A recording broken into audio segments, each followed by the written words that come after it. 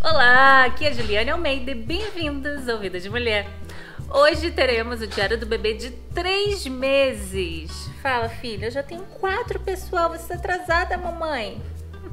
Tô protelando que sempre eu quero fazer algo diferente para vocês, em um lugar diferente, mas, gente, não deu, então vou fazer do jeito que tem, dá mesmo, porque o importante é a informação que eu vou dar para vocês, certo? Então vamos lá. Ela, com três meses, ela tava com 59 centímetros e 6 quilos. Mamadas e interação. As mamadas dela, ela da noite, de dia de 3 em 3 horas, às vezes de 2 em 2, às vezes ela tá com sono, até vai de 1 em 1. À noite, ela dorme às 8, 7 horas banho, né? 8 horas a gente bota ela para dormir, aí eu dou uma mamada às 8.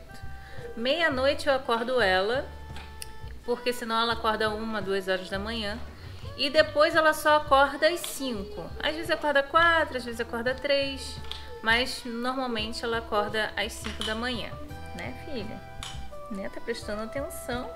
Ela já tá com a cabeça bem durinha, como vocês podem ver. Ela observa tudo. É, ainda quer girar a cabeça 360 graus, como se fosse uma coruja. Mas ela já não fica tão incomodada como antes, que ela chorava e tentava forçar a cabeça para girar. Ela já tá ficando em pé, gente. Já tá ficando em pé. Ó, ó, olha isso. Adora ficar em pé toda dura. Toda dura, toda animada em pé.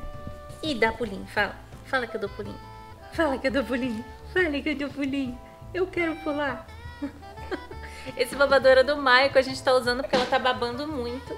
Ela baba, gente, de a gente tá trocando três, quatro roupas por dia. Aí a gente colocou esse babador que tem tanto aí do Michael para ela usar, né? Ela já tá observando tudo com muita curiosidade, né? Inclusive a imagem dela no espelho. Quando eu passo com ela no espelho, ela fica muito curiosa, não só para me ver, mas eu ver ela também.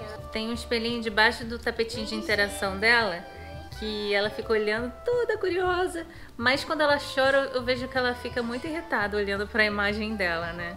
Acho que é natural, ela se assusta. Quando eu coloco ela de bruços, ela já tá com muita força também, se apoia nos braços para olhar tudo sua volta. É um ótimo exercício para fortalecer as costas, né? E até os olhos. Você sabia disso? Eu não sabia não, descobri pesquisando né, filha? Com três meses, alguns bebês já rolam, mas ela ainda não rola. Ela só rola pro lado, assim, de lado, mas não de costas. Ela não sai de barriga para cima para baixo ou de barriga para baixo para cima ainda não. Mas eu evito colocar ela sozinha na cama, no trocador, para evitar queda, né, gente? É bom evitar porque ela pode querer rolar quando a gente não tá olhando, né? Já pensou? Mas é muito importante fazer brincadeiras com os bebês de bruço, botar um brinquedinho assim, ó, para ela ir acompanhando, né, para ver se ela vira. Eu fico estimulando sempre, né? E se ela conseguir, faça muita festa para ela ver que foi uma coisa legal e ela repetir. Ah, ela já tá pegando vários objetos já, que ela tá muito nervoso na gengiva, né? Provavelmente daqui a pouco vai vir vários dentinhos, por isso que ela tá babando. Já coloquei o colar de ambar já. Né, filha? Ela tá muito sorridente também, como vocês puderam ver. É, mas essa, esse sorriso todo tá prestes a acabar quando tiver muita gente né, que ela não conhece e ela vai precisar de mais um tempo, né? O bebê precisa de mais um tempo para se adaptar. Eu lembro muito do Michael, quando tinha algum estranho assim, ele chorava bastante, demorava para se adaptar. Ele parece que fica um peixe fora d'água, né? E sempre quando eu vejo que ela tá mais irritadinha, eu sempre faço aquele contato pele a pele desde que ela nasceu, né? Desde que ela saiu de mim, eu vejo que ela se acalma muito no meu peito. Eu sempre encosto meu rosto no dela, olho no espelho para ela me olhar e acalma muito ela. Que além de criar vínculo, né, com o bebê, é reconfortante, né, pro bebê. Outra forma de estimular o tato do bebê é dar vários objetos diferentes de texturas diferentes, né? É, bichinhos. O Michael tem muitas coisas já com texturas diferentes, até livros, né, com texturas diferentes. Isso vai estimular ela, né? Ela tá aqui empolgadíssima com o dado dele.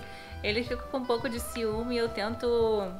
Eu vou fazer um vídeo sobre isso, né? Como que eu tô fazendo com os dois. Que eu tento sempre colocar ele dentro da brincadeira com ela, né? Porque ela precisa de mais atenção do que ele no momento, mas eu não deixo de dar mais atenção a ele do que ela, entendeu? Eu sempre mostro para ele que ele é importante. Mas isso é um papo para outro vídeo. Alguns bebês de três meses já dormem a noite inteira, não é o caso dela, né?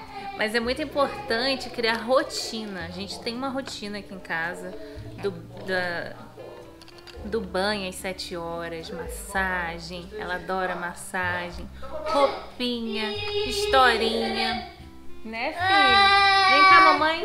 Vem cá, mamãe. Vem cá. Ele tá vendo o abraçado com ela, ele quer participar. Quer mamãe? Vem, mamãe? Quer não. Então, eu tava falando da rotina: banho, massagem, roupinha, conversa, mas sempre com a voz bem calma, né? Cantar musiquinha ou historinha peito e sono. Ela tem muita dificuldade para dormir, igual a mim. Tem que puxar as coisas ruins também, né, da gente. Então, às vezes ela não dorme no peito e tem que fazer ela dormir no colo. Eu detesto fazer isso porque eu tenho dor na coluna, né? Às vezes eu fico no balanço e quando ela começa a pestanejar assim, ainda acordada, eu boto ela no berço para criar uma rotina. Ela ainda não está familiarizada com isso, ainda chora, ainda bota ela de novo no, no colo e eu fico nessa, nessa mudança ainda, mas vou, vou, vou contar para vocês quando deu certo, né? Porque com o Michael deu muito certo, muito rápido, e eu quero que ela consiga dormir sozinha também, assim como ele. Agora eu quero falar sobre forma física. Eu não sou parâmetro, né, gente? Meu corpo voltou muito rápido. Eu sei que você pode estar se olhando no espelho e perguntando assim: meu corpo, eu não tô grávida? E também não tô eu não tô mais grávida, é, mas meu corpo parece de grávida, né? O quadril tá mais largo, a barriga tá flácida. Gente, não se cobre tanto. Você passa nove meses, né? É, sua barriga crescendo, você gerando uma vida. Então, isso são, são coisas que você vai carregar pro resto da vida. Então demora um tempo, nove meses para você ter seu bebê. Então, no mínimo, nove meses para você voltar à sua forma física. Eu sei que é difícil olhar no espelho, né? É, eu dou consultoria online, se você quiser se consultar comigo, manda um e-mail para mim. Manda o estado que você mora, o país também, para eu te mandar tudo direitinho, os planos que, que eu faço. Mas calma, dar à luz não é coisa simples. A gente precisa ser realistas, né?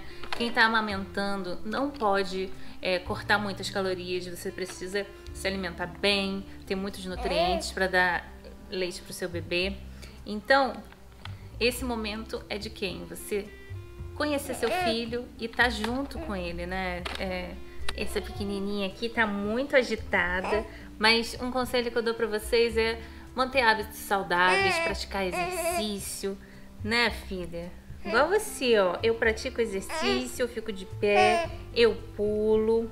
E não esqueça de beber muita água. Amamentar dá muita sede, né, filha? Dá muita sede e tem que ter muito leitinho para quem? Para dar para você. Quando conseguir, arrume um tempinho para sair, é, conseguir uma pessoa. Eu sei que nessa quarentena, gente, né, não dá pra gente fazer isso, né?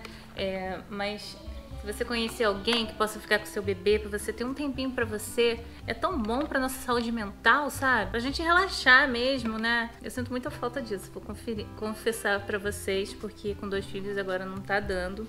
Mas às vezes eu me pego assim, gente, eu vou ficar louca com dois filhos.